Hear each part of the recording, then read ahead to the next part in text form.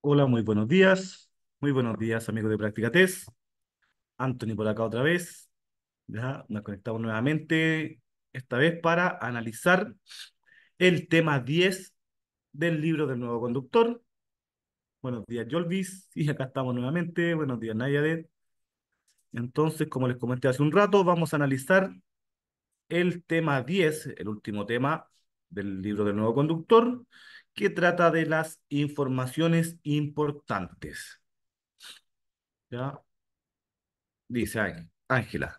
Hola, consulta, profe, ¿me puede explicar el tema que en la municipalidad no existen las opciones multirespuesta, por favor? ¿Cómo que se elige una solo una? A ver, voy a leer de nuevo. Dice, ¿me puede explicar el tema de que en la municipalidad no existen las opciones multirespuestas, por favor. Ah, claro, sí. En la municipalidad no hay las preguntas que nosotros vemos acá que son que tienen más de una respuesta correcta. Esto lo hacemos acá nosotros porque antiguamente era así y obviamente para, para facilitar el aprendizaje también. Pero en la municipalidad no va a encontrar, no se va a encontrar ya con preguntas multirespuestas. Sí con preguntas de doble puntaje, como les decía hace un rato. Preguntas de doble puntaje como los temas de doble puntaje puede ser alcohol y drogas, velocidad y sistemas de retención infantil. Esas, van a haber tres preguntas en su examen que van a tener doble puntaje, que van a tratar de los temas que le comenté recién. Ya por eso son 38 puntos. Ya de 35 preguntas van a ser 38 puntos. Y claro, nunca va a tener que escoger más de una opción en la municipalidad. Esa es la diferencia con los test que tenemos nosotros acá. Ya, y son dos preguntas que tienen doble puntaje, como les comentaba hace un rato, 38 puntos. O sea, si yo tengo dos malas de doble puntaje, por ejemplo, ya me baja cuatro puntos al tiro, más dos malas simples de un solo, de un solo punto, tendría seis puntos menos. Por ende, de los 38 puntos quedaría con 32 y estaría reprobando mi examen. ¿Ya? Así que eso sería. Obviamente, si me equivoco también en las tres de doble puntaje, también voy a tener seis puntos menos, que haría con 32 puntos y por ende estaría reprobando mi examen. Ya, las preguntas de doble puntaje, Yolvis, son las que tratan de alcohol y drogas, ya, todo lo que es ley Emilia, ley tolerancia cero, velocidad, todo lo que sea velocidad máxima permitida y eh, sistemas de retención infantil. ¿Ya? Esos son los tres temas de doble puntaje en la prueba. Le van a aparecer tres preguntas de esas. Ya, vamos entonces por el tema de informaciones importantes. Ya, ¿qué trataremos en esta unidad? Informaciones importantes como la actuación que debemos llevar a cabo en caso de siniestro, especialmente si alguno de los vehículos involucrados transporta mercancías peligrosas y también vamos a ver los documentos que todo vehículo debe portar al momento de circular por las calles, ¿cierto?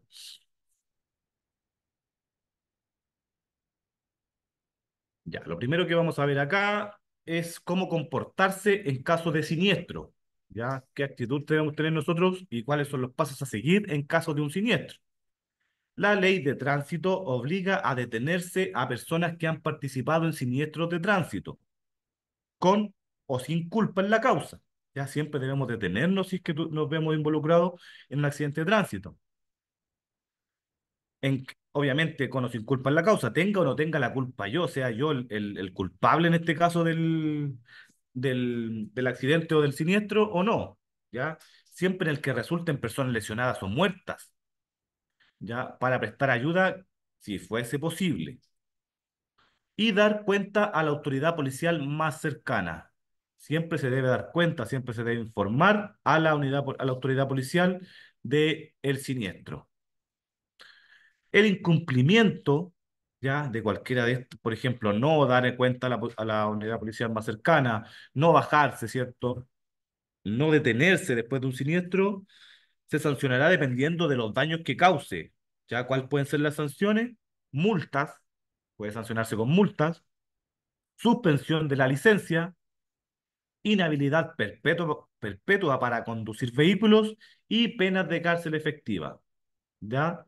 Obviamente esto va a depender según la- los daños que se causen. Ya hay agravantes, como por ejemplo conducir con alcohol, ya daños, por ejemplo, materiales, daños, lesiones graves, muerte. Todo eso obviamente va agravando y va a depender de la multa que me va, yo me voy a ver sancionado. Entonces, ¿qué debemos, qué deben hacer todos los conductores en caso de siniestro de tránsito? Lo primero que tenemos que hacer es detener la marcha de nuestro vehículo, ¿cierto? Detener la marcha de nuestro vehículo, verificar que todos los vehículos estén detenidos, prestar la ayuda que fuese posible al afectado. Ya en lo posible debemos ayudar a los afectados, ya sea si hay lesionados, por ejemplo, lesiones leves, graves, y dar cuenta a la autoridad del hecho. Importante, no dar aviso a la autoridad y fugarse es un delito. ¿ya? No dar aviso a la autoridad y fugarse de este caso del lugar del accidente es un delito que puede llegar hasta la pérdida de por vida de la licencia de conducir y además penas de cárcel efectiva de al menos un año, ¿ya? Porque si yo no doy aviso a la autoridad y me fugo, ya se... Disculpen. Entonces, esto puede, como les decía, puede llegar hasta la pérdida de por vida de la licencia de conducir y además penas de cárcel efectiva. ¿Qué hacer al detenerse para ayudar en caso de siniestro? Ya tenemos que tener presente. Los choques y posteriores incendios son una amenaza peligrosa. Ya, obviamente, después de un siniestro, después de un choque donde el vehículo se ve bastante afectado, podemos tener algún problema, hay alguna fuga de combustible, más alguna chispa del sistema eléctrico, puede haber un incendio posterior, ¿cierto? O simplemente pueden volver a chocar porque el vehículo después del, siniestro quedan muchas veces en la auto, si hay una autopista, por ejemplo, quedan en medio, cruzados, y si viene un vehículo que no, no viene atento a las condiciones del tránsito, es muy probable que vuelva a chocar. Ya muchas veces se ha visto que después de un choque tenemos otro choque al ratito después, ¿ya? Entonces, si yo me fugo y no doy aviso a la autoridad, se presumirá mi culpabilidad inmediatamente. Ojo con eso, ya que no se lo había dicho. Entonces tenemos que tener presente avisar a los demás con luces del vehículo y artículos reflectantes como el triángulo, ¿cierto? Encender las luces de advertencia, utilizar el chaleco reflectante, apagar los motores de los vehículos que se vean involucrados, ya que no queden los vehículos eh, funcionando los motores, hay que apagarlos. Y es súper importante también no fumar después en el, en el lugar donde hubo un accidente. Como les decía hace un rato, puede haber alguna fuga de combustible, ¿cierto? Entonces fumar puede ser bastante peligroso. Primeros auxilios en siniestros de tránsito, ante personas heridas, deben pro- procurar no moverlas, no trasladarlas ni moverlas. Ya no debemos trasladarlas nosotros, no debemos moverlas. O, por ejemplo, yo subir a un herido, por ejemplo, en mi vehículo particular y tratar de llevarlo al, al hospital.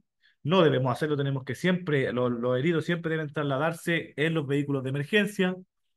Solo podrá mover algún herido excepcionalmente ante un peligro de incendio, explosión o atropello.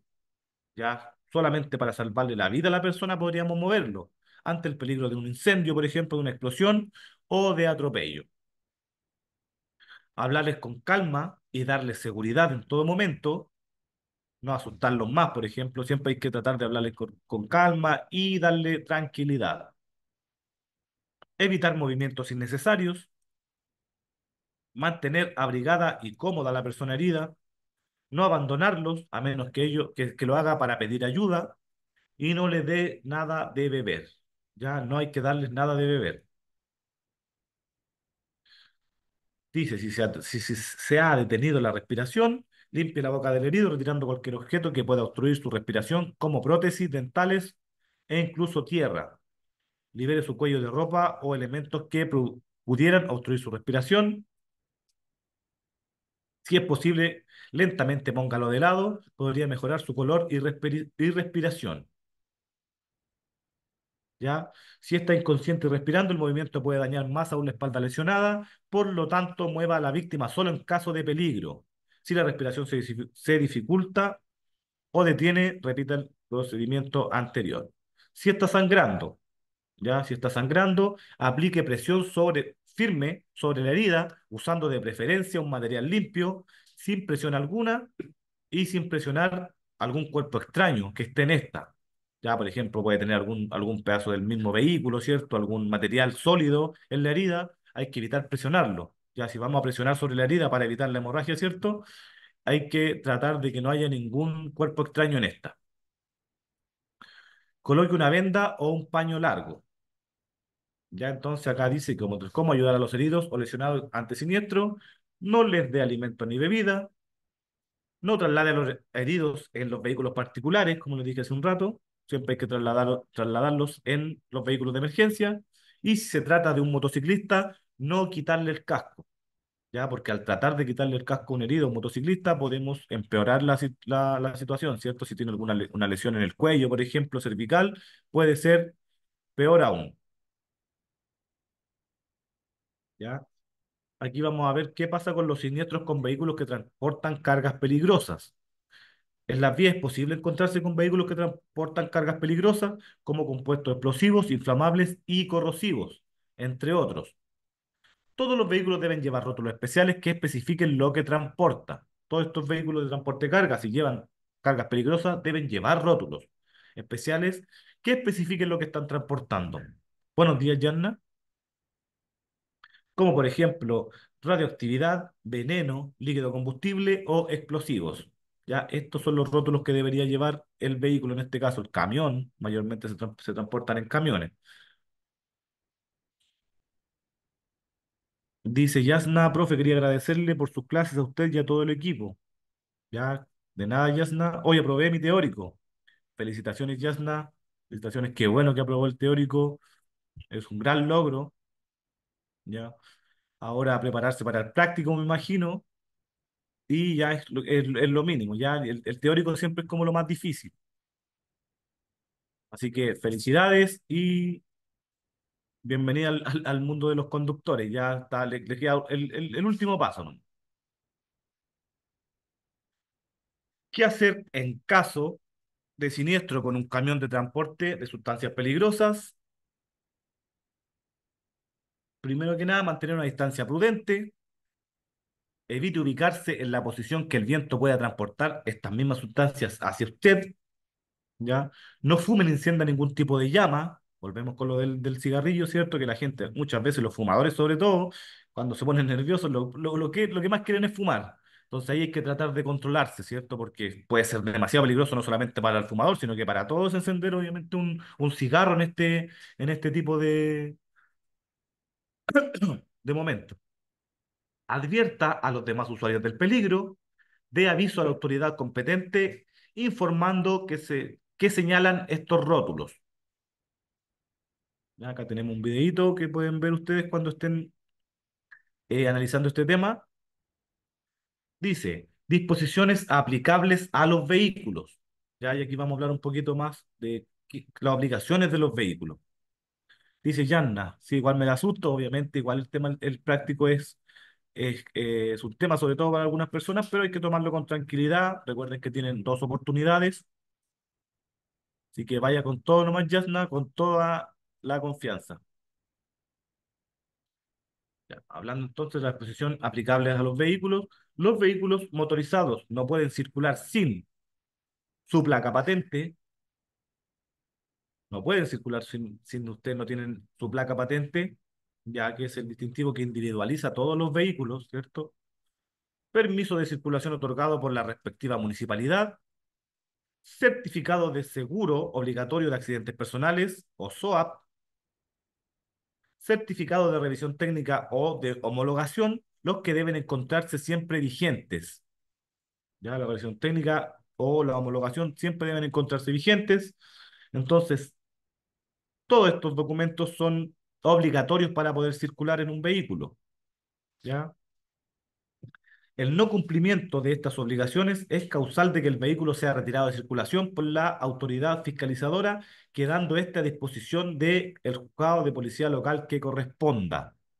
Ya, o sea, yo, si me, a mí me sorprenden circulando sin el permiso de circulación, sin la placa patente, sin el certificado de revisión técnica homologación, el vehículo va a ser retirado de circulación y va a quedar a disposición del juzgado de policía local, lo cual lo va a derivar al corral, en este caso correspondiente y eso obviamente aparte ya de la multa y todo el tema, también conlleva un gasto adicional. Ya los corrales los cobran por día.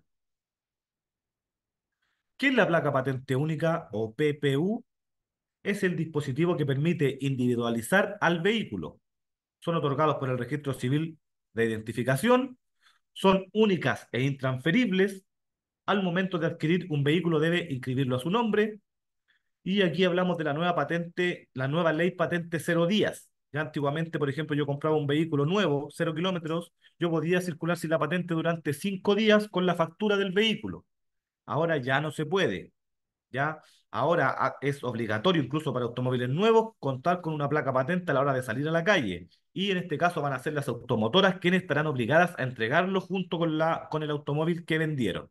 O sea, desde la automotora el vehículo ya debe salir con su patente.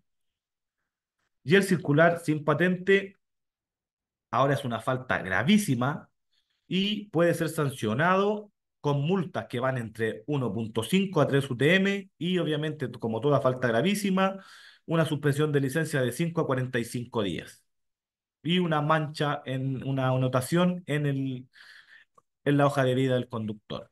¿ya? Aquí aparece el formato de la patente de acá de Chile, ¿cierto? Esta es la patente, el formato de patente.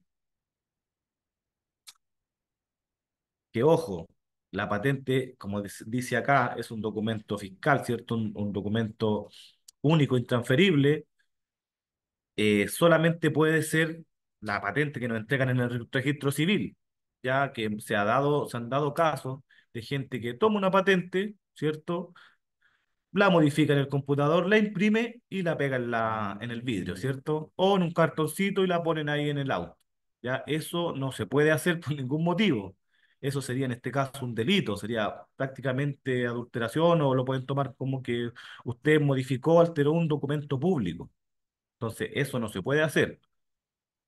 ¿Ya? Así que ojo con eso para que lo tengan claro. Ya pasando el tema de la patente, vamos a hablar sobre el permiso de circulación. ¿Qué es el permiso de circulación? Es un impuesto anual que todos los dueños de vehículos motorizados deben pagar en las municipalidades. En este caso, el que entrega el permiso de circulación es la municipalidad. Esto se compra siempre en marzo, si ustedes se han dado cuenta que siempre durante el mes de marzo la municipalidad instala algunos stand vendiendo este permiso de circulación, ¿cierto? Para que la gente obviamente lo sea más fácil pagarlo. Que permite que los vehículos, camionetas, motos y otros, y otros puedan circular de forma legal por las calles del país. Ya es el permiso de circulación, como su nombre lo dice. Ya y nos entregan un certificado, que es un documento que debe portarse en el vehículo al momento de transitar por las vías. Ya aunque esté pagado, yo siempre tengo que portar mi permiso de circulación. ¿Y hay que me piden a mí para obtener el permiso de circulación? Tener comprado el SOAP o seguro de obligatorio de accidentes personales y revisión, la revisión técnica al día. ¿ya? Siempre, obviamente, en estos mismos están, nosotros, donde nosotros pagamos el permiso de circulación, al lado están vendiendo el SOAP o el seguro obligatorio de accidentes personales. Para poder pagar el permiso de circulación, tengo que tener comprado el SOAP y la revisión técnica al día. Buen día, Pilar. Entonces yo tengo que siempre portar el documento que es este, que es como un comprobante pago, es como una patente de algún local comercial, es muy parecido, ¿ya? Que aparece la municipalidad, la fecha donde fue comprado, la placa única, la patente, el nombre del dueño de la razón social, la comuna, obviamente, su domicilio, el fono, el RUT, y también aparecen los datos del vehículo, como que, de qué vehículo se trata, la marca, las puertas, los kilos, el chasis, el número de motor, el año, el color, Dice ahí Luis Peña, oiga, profe, ahora la mayoría de esos documentos los mandan por teléfono ahora, ¿o no? Claro, o sea, por ejemplo, usted puede pagar el permiso de circulación por internet. Ya también puede comprar el SOAP, el seguro obligatorio de accidentes personales, por internet. Ya los podemos comprar, obviamente, pero también tenemos que imprimirlo y, tener, y tenerlo una copia en el auto. Siempre se debe imprimir y tener una copia en el auto. Ya, obviamente, también, también hay gente que dice, no, yo los tengo en el, en el, en el, en el celular de manera digital. Ya, yo los muestro, pero eso va a depender también de la persona que los fiscalice, del carabinero. Porque la norma dice que tenemos que tenerlo siempre arriba del vehículo.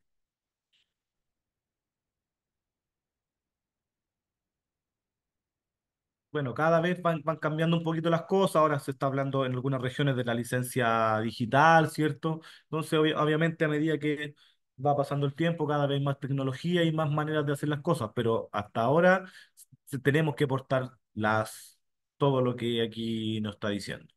Ya, entonces, como, como les decía, acá aparecen todos los datos del vehículo, incluso la tasación. La tasación es importante, ¿por qué? Porque según la tasación del vehículo, es cuánto voy a pagar yo por el permiso de circulación.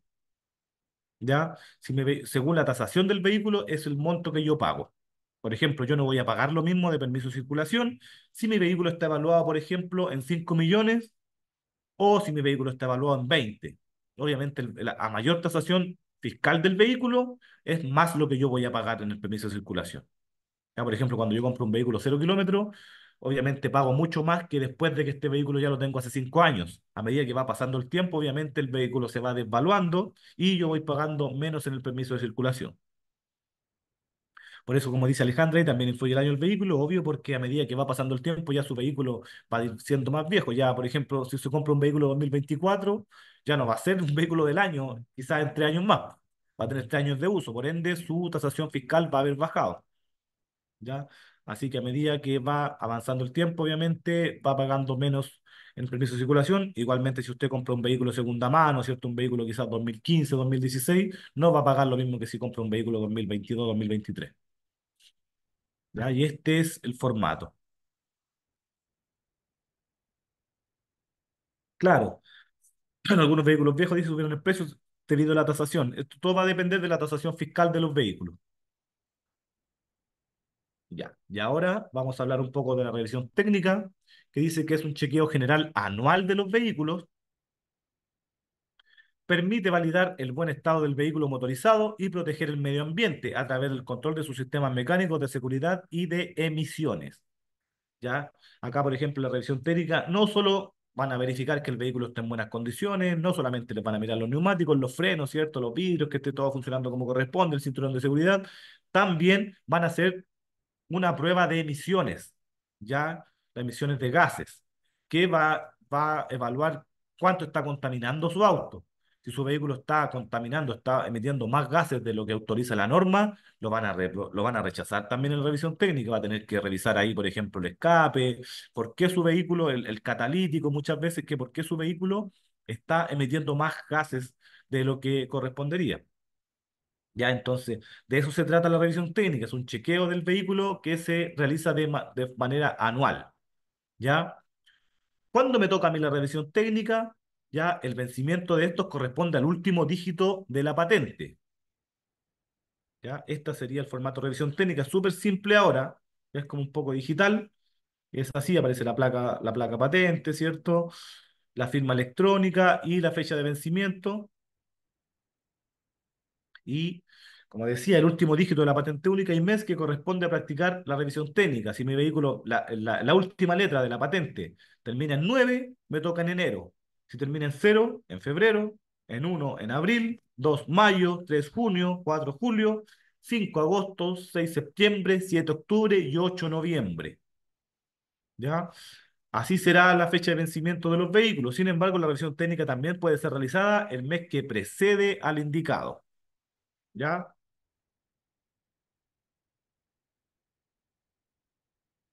¿Qué es el SOAP o seguro obligatorio de accidentes personales? Ya, ya hablando un poquito del SOAP, es un seguro obligatorio para transitar por las vías del país, que tiene una validez de 12 años. Ya, este no hay que confundirlo con el seguro automotriz. Ya el SOAP, el seguro obligatorio de accidentes personales, no, no es lo mismo que el seguro automotriz. ¿Ya? Y aquí está la diferencia. ¿Qué cubre o a qué personas cubre el SOAP? al conductor del vehículo, obviamente, y a las personas transportadas, pasajeros del vehículo o cualquier tercero afectado en el siniestro de tránsito que haya intervenido el vehículo asegurado mediante SOA. ¿Ya? Esto, por ejemplo, no cubre daños a los vehículos, esa es la diferencia, porque el seguro automotriz que uno con, con, contrate, que uno paga mes a mes, ese seguro, ese no es obligatorio, es el seguro que va a cubrir daños, ciertos daños materiales, daños a terceros y todo ese tema. Acá, por ejemplo, el SOAP solamente cubre lesiones o muerte de las personas que se vean involucradas acá en el, en el siniestro, donde esté involucrado el vehículo asegurado. ¿Cuáles serían los montos del seguro? Por muerte cubre hasta 300 UF, incapacidad permanente total, 300 UF, incapacidad permanente parcial, 200 UF, gastos médicos y hospitalarios también 300 UF. ¿Ya? Este, como les decía, este es el SOAP que uno lo compra al, antes de pagar el permiso de circulación, ¿cierto? Se puede pagar por internet también, se puede comprar por internet. Se puede comprar el, el, al momento de pagar el permiso de circulación, en estos están también, siempre tienen un localcito al lado para comprar el SOAP y se debe presentar o debe estar el SOAP ya listo para poder pagar el permiso de circulación. Ya, y aquí obviamente el SOAP puede comprarse en, estas compañías de seguro, ya que son varias, obviamente, y va a aparecer desde cuando rige hasta donde rige, el propietario del vehículo, su RUT, y la prima en este caso que le importe a pagar. ¿Ya? Y ahora que ya hablamos ya cuáles son los documentos obligatorios para aportar en el vehículo, vamos a hablar un poquito de las responsabilidades del conductor. ¿Cuáles serían las responsabilidades del conductor? Mantener su vehículo en buen estado, ¿cierto? El vehículo mantenerlo en buen estado, que todo funcione como corresponde, la revisión técnica al día, las mantenciones como corresponde, ¿cierto? Conocer y cumplir las normas del tránsito, actuar con respeto por todos los usuarios de las vías, en ningún momento ni en ningún caso comportarse de forma violenta, ya esto lo hemos tratado en, en, el, en el módulo de convivencia vial, ¿cierto? Que tenemos que mostrar respeto, empatía, y obviamente portar la licencia de conducir vigente y en buen estado. ¿Ya? Importante que la licencia esté en buen estado, todo legible. No puedo andar yo con una licencia toda toda deteriorada, ¿cierto? Toda rota. La licencia tiene que estar en buen estado. Y, ahora que estamos bien, hablando un poco de la licencia de los conductores, vamos a hablar de la licencia, o sea, de la, de la responsabilidad de los conductores, hablamos de la licencia de conducir, obviamente, que es el documento que autoriza para hacer uso de un vehículo, por lo tanto, es su obligación portarla siempre mientras conduce. Ya siempre tenemos que portar nuestra licencia de conducir mientras conduce, mientras obviamente estamos circulando en las vías públicas excepto cuando ya tenemos algunas excepciones de no portar la licencia de conducir. Por ejemplo, cuando esté retenida, ya y en su reemplazo puede exigir, exhibir, disculpen, un permiso provisorio otorgado por tribunales. Por ejemplo, cuando yo me veo envuelto en un accidente de tránsito, donde todavía no se individualizan los culpables, ¿cierto? Pero hay una investigación de por medio, tribunales va a retener mi licencia y me va a otorgar un permiso provisorio. Ya, no sé, ellos van a, ellos van a decir, ya esta, esta investigación puede durar seis meses, me van a entregar un permiso provisorio que va a decir que dura seis meses. Obviamente, si, la investigación se extiende, yo voy a tener que ir a solicitar otro permiso provisorio más y así hasta que se, establezca quién, los culpables y las suspensiones de licencia en este caso. ¿Ya? Si no tengo mi licencia y está retenida, yo tengo que siempre recibir este permiso provisional. Y también una boleta de citación del juzgado. Yo, cuando tengo mi licencia y estoy, por ejemplo, cometo una falta, ¿ya? O una infracción en el tránsito y me pasan una multa a mí, me retienen mi licencia, me la, Carabineros me va a retener la licencia de conducir y en su reemplazo me va a entregar una boleta de citación al juzgado. Por ejemplo, si a mí me infracciona el día de hoy, 27 de junio, si el carabinero me cita a juzgado, por ejemplo, para el 15 de julio, esa boleta va a tener, va a decir abajo que habilita la conducción del vehículo, obviamente, que, que, habilita la licencia de conducir retenida hasta el 15 de julio. Ya, ese día cuando yo ya me presente juzgado, ahí van a ver si es que a mí me, la falta que yo cometí conlleva una suspensión de licencia o no. Si no tiene suspensión de licencia, yo voy a pagar la multa, ¿cierto? Y me la van a devolver, me la van a entregar. Si es con suspensión de licencia, desde ahí empieza a correr el tiempo de la suspensión, desde el día de la citación.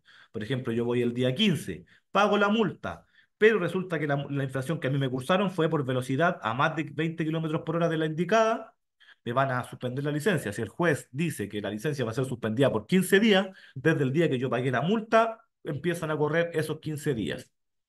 ¿Ya? Así que en este caso, esas serían las excepciones para aportar la licencia de conducir, que obviamente siempre tiene que haber un documento que la reemplace. ¿Cuándo se suspende la licencia de conducir? Bueno, acá está la licencia, obviamente, la licencia, el, el modelo de licencia acá en Chile. Te dice qué clase, obviamente, habilita para conducir un, un vehículo, en este caso la clase B, el RUT, la municipalidad, los nombres, los apellidos, la dirección de, la persona, la fecha de último control o del día que obtuvo la licencia y la fecha de control, o sea, cuando vence mi licencia. ¿Ya? Y por el otro lado, acá no hay una foto del otro lado de la licencia, aparece un rectángulo que dice observaciones. Obviamente, por ejemplo, si yo en la licencia aparezco con lentes, si yo di mi examen con, con lentes ópticos, va a aparecer atrás que debe usar lentes. ¿Ya? Así que eso, podrían ser como observaciones que le pueden poner ahí. ¿Cuándo se suspende la licencia del conductor? La licencia de un conductor es suspendida cuando el titular es sorprendido conduciendo, bajo los efectos del alcohol, suspensión por tres meses, en estado de ebriedad o bajo influencia de sustancias estupefacientes o psicotrópicas, puede suspenderse hasta por dos años. Ya, y estos periodos se pueden ver aumentados en casos de reincidencia o si ocurre un siniestro y resultan personas con lesiones menos graves, graves o muertas, pudiendo incluso llegar a la inhabilitación de por vida para conducir. ¿ya? No va a ser lo mismo, obviamente, que a mí me sorprenda carabineros conduciendo en estado de ebriedad, solamente porque me detuvo en un control, ¿cierto? No va a ser la misma suspensión que si, por ejemplo, yo en, en el mismo estado de ebriedad causo lesiones menos graves en un accidente graves o muertas, ¿ya?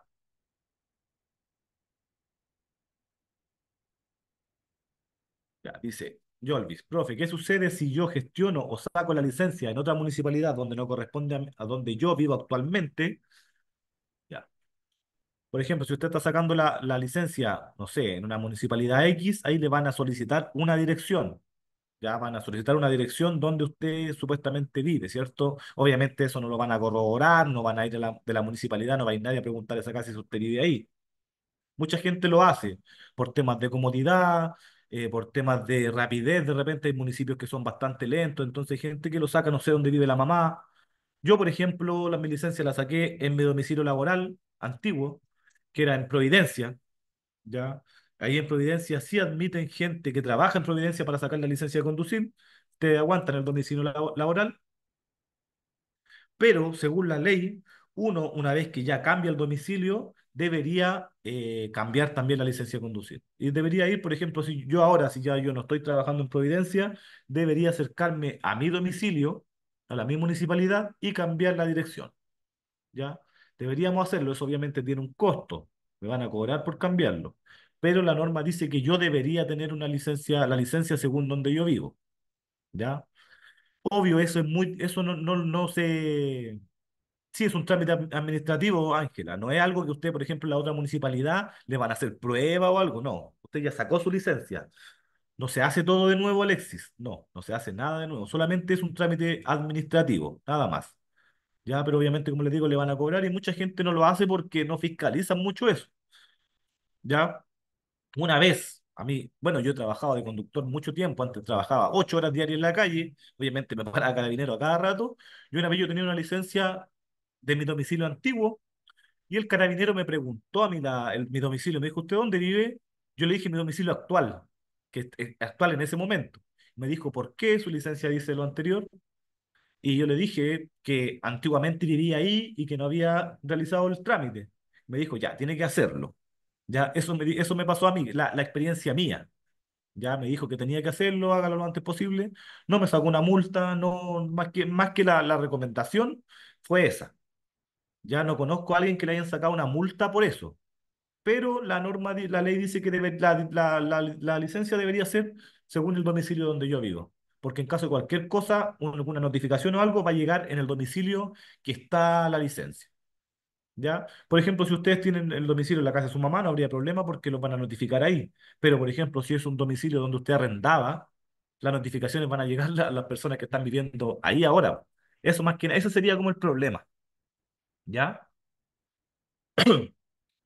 Ya, entonces, como les decía, estos periodos se van a ver aumentados en caso de reincidencia, si me, me pillan más de una vez, ¿cierto? Eh, conduciendo bajo la influencia del alcohol o en estado de ebriedad, o si en el accidente, en el siniestro, hay, hay lesiones, ¿ya? Lesiones graves, mm, eh, graves, o sea, lesiones menos graves, graves o personas muertas.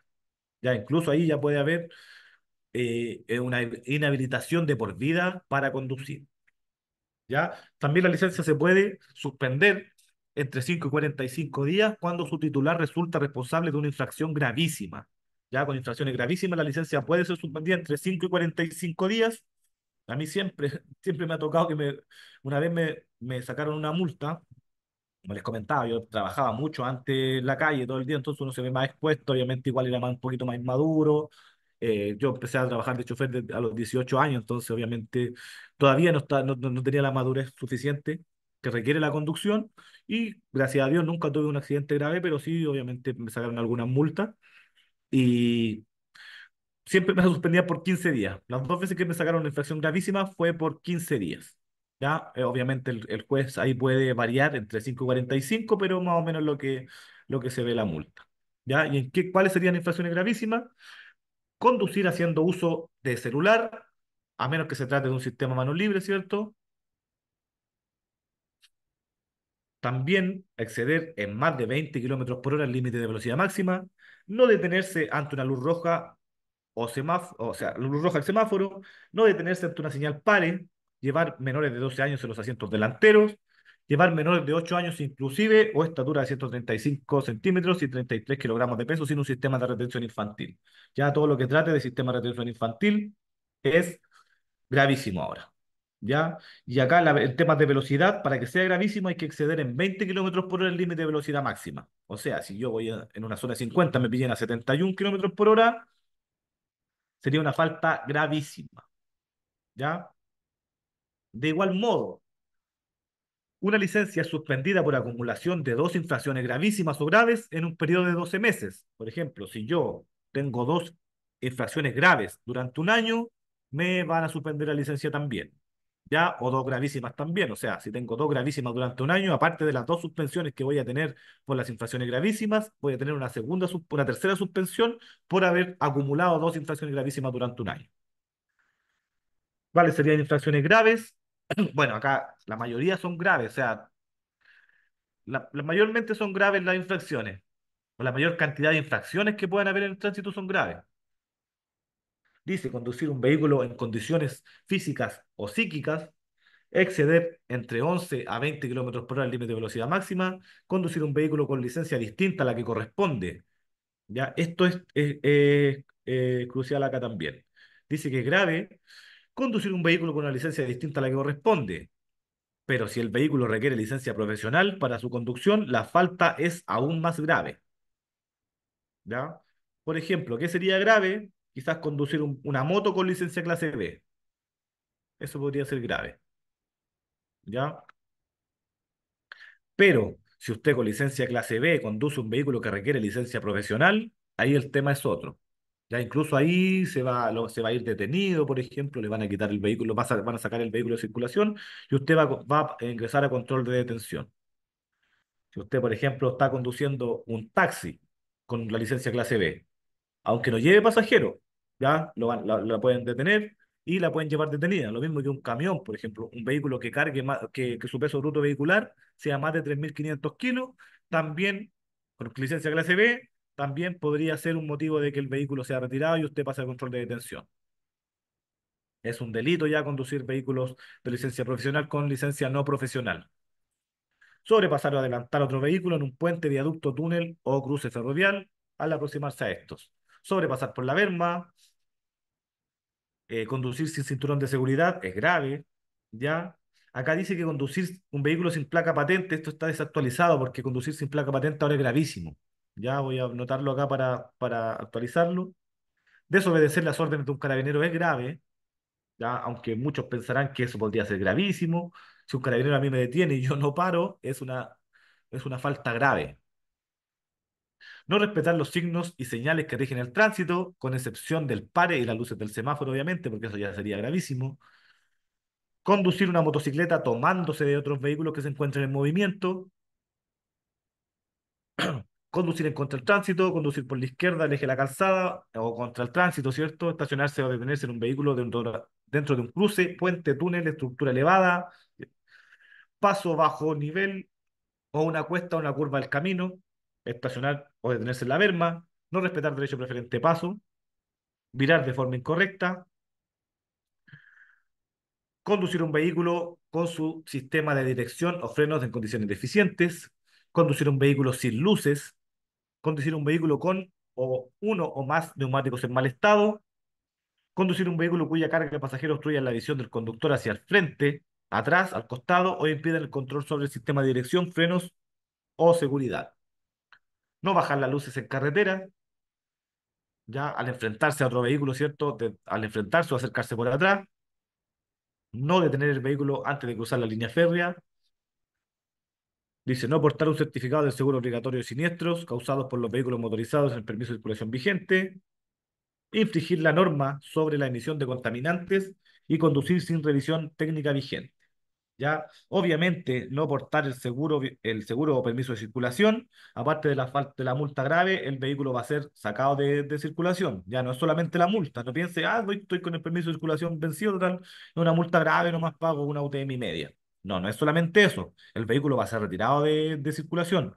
Lo mismo que sin la revisión técnica vigente ahora, también, ¿ya? Y infringir las normas sobre emisión de contaminantes. Esas serían las multas graves también. Y pasando sobre las multas, dice, ¿cuál, ¿cuáles son los requisitos para un conductor acompañante de un menor de 17 años? Ya todos sabemos que un joven de 17 años puede obtener licencia de conducir clase B siempre que cuente con autorización de sus padres, apoderados o representantes legales y que haya aprobado un curso en una escuela de conductores. En este caso, para, para, para la persona, el joven que quiera sacar su licencia antes de los 18, es obligación haber realizado un curso en una escuela de, de conductores. ¿Ya? Hasta que el menor no cumpla 18 años, deberá conducir siempre acompañado en el asiento delantero por una persona que tenga licencia de conducir, que habilite obviamente la licencia de vehículos utilizados para la clase B y que tenga por lo menos 5 años de antigüedad. ¿ya? El conductor tiene que tener mínimo clase B, puede tener clase B o licencias profesionales, obviamente, que habilitan también la conducción clase B, y tener 5 años de antigüedad, ¿ya? Solamente las licencias clase B y las profesionales habilitan lo mismo, ¿ya? No quiere decir que la clase C habilite conducir un auto. Ojo, la clase C es para moto. Lo mismo que la clase D, que es para maquinaria, ¿ya?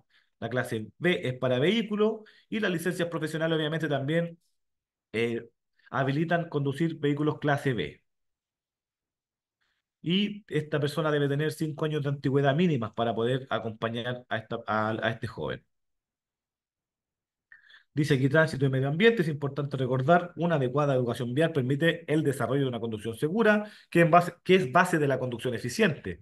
Todo ello contribuye a una mejor convivencia vial y disminuir el impacto negativo que provocan los vehículos motorizados en el medio ambiente. Estamos todos claros que el vehículo motor de combustión interna, ¿cierto? Contaminan. Ya el vehículo diésel, el vehículo bencinero, el vehículo a gas, todos estos vehículos contaminan. Entonces, ¿cómo contaminan los, el medio ambiente los vehículos? Porque emiten todos estos eh, elementos contaminantes, ya óxido de carbono, óxido nítrico, hidrocarburos, anhídrico carbónico, plomo y dióxido de azufre. Acá tenemos el efecto en las personas, los síntomas de intoxicación por estos elementos y el impacto medioambiental que producen. ¿Ya? ¿Y cómo impacta nuestra forma de conducir en la emisión de los gases?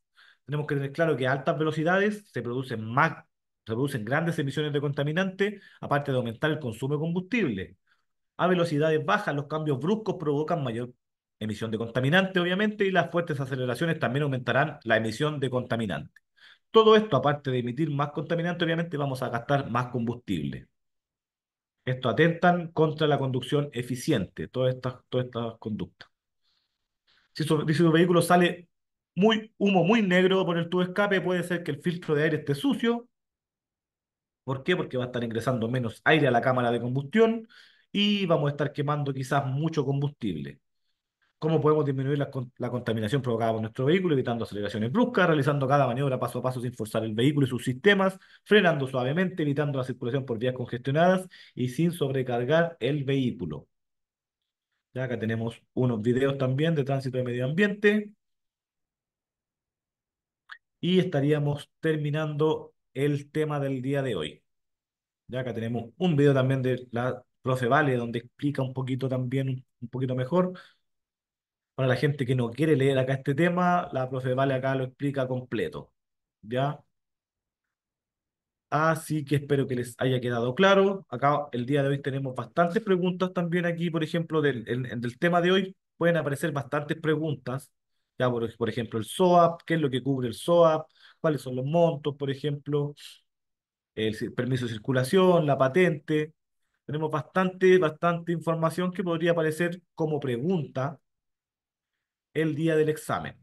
¿Ya? Ya no, por, por la hora no alcanzamos a hacer un test, pero si ustedes quieren realizar un test de este tema, pueden realizarlo, ¿cierto? Nos vamos aquí al home, nos vamos al recuadro de informaciones importantes, pueden volver a leer el tema o pueden realizar un test del tema, ¿ya?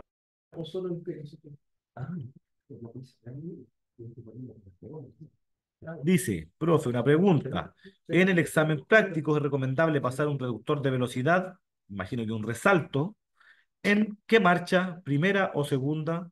Ya, eso va a depender de la velocidad. Ya si usted ya va en, ya va en, circulación, en segunda estaría bien, ya en segunda. Pero si usted obviamente está recién saliendo con el vehículo y va a recién ponerlo en movimiento y va a pasar el resalto, tiene que ser en primera. Pero el resalto debería pasarse en segunda. Ya, por ejemplo, yo si vengo en movimiento, vengo a 20 kilómetros por hora, no debería poner primera. Yo debería mantener la segunda o bajar a segunda en este caso. Ya, así es que por, por algún eh, motivo voy en tercera. Pero debería ser en segunda. Alejandra dice, profe, ¿qué se ve en las clases de las 10? A las clases de las 10 nosotros hacemos un test. Ya no es, no es una clase en sí, es un análisis de un- del test diario. ¿Ya? Es una, el análisis del test diario donde nosotros resolvemos la, la- las preguntas de este test, si es que hay alguna duda, obviamente, explicamos un poquito por qué es la respuesta correcta. Así que eso se hace en la clase de las 10. El test diario, obviamente, este test también queda grabado, ya es el test del día. Yo les voy a mostrar un poquito. Por ejemplo, vamos a exámenes, test, licencia, vamos a iniciar los tests. Y aquí está el test del día, por ejemplo, el test del día de ayer se revisan acá y aquí hay un- una camarita y ahí está la grabación del test. Si no lo alcanzan a ver, si no lo alcanzan a ver en vivo, lo pueden ver grabado, ¿cierto? Entonces ahí ponemos play y el test de ayer fue realizado por el profe David, ¿cierto? Entonces todos los días este test va quedando grabado. Eso es lo que se ve a las 10. La gente que lo quiere ver en vivo, ¿cierto? Hacer alguna pregunta, alguna, tener alguna duda. Si no, también lo pueden ver grabado. Eso es lo que se hace a las 10, ¿ya? Así que, como les comentaba, pueden realizar un test del tema, ¿cierto? Vamos acá al home. Informaciones importantes, practicar test, acá justo en el, recuadro del tema que corresponde, y me va a dar un tema, ¿cierto? Un test exclusivo de preguntas solamente del tema que tratamos. Ya, voy a un modo aprendizaje, y vamos a ir viendo, me preguntando obviamente del SWAP que vimos hoy día, ¿cierto? Preguntas sobre el SWAP, seguro obligatorio, de qué hacer en caso de accidente, ¿cierto? El tema de las infracciones, y todo lo, lo demás. ¿Ya? Así que los dejo invitados para que sigan realizando test, para que sigan estudiando. Las, las personas que aprobaron ahí su, su, su, examen, felicitaciones. Los que van por segunda vez también, ahí sigan estudiando, vayan con toda la, con toda la confianza nomás, pero obviamente sigan estudiando, sigan haciendo test, sigan leyendo el temario y que les vaya a todos muy bien, que tengan un excelente día. Nos estaríamos viendo en la siguiente clase. ¿Ya? Estén muy bien. Hasta pronto.